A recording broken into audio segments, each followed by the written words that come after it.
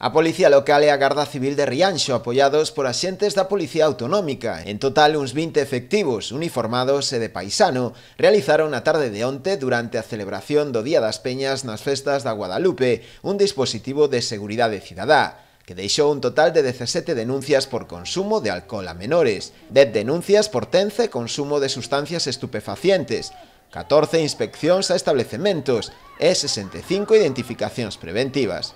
Por outra banda, durante esta pasada madrugada, unha patrulla da Garda Civil interceptou tamén a un vehículo que circulaba de forma temeraria polo Paseo da Ribeira. As probas de alcolemia realizadas ao condutor deron un resultado de 0,63 e 0,60, respectivamente, en aire expirado, polo que se procedeu a tramitar contra ela correspondente denuncia administrativa.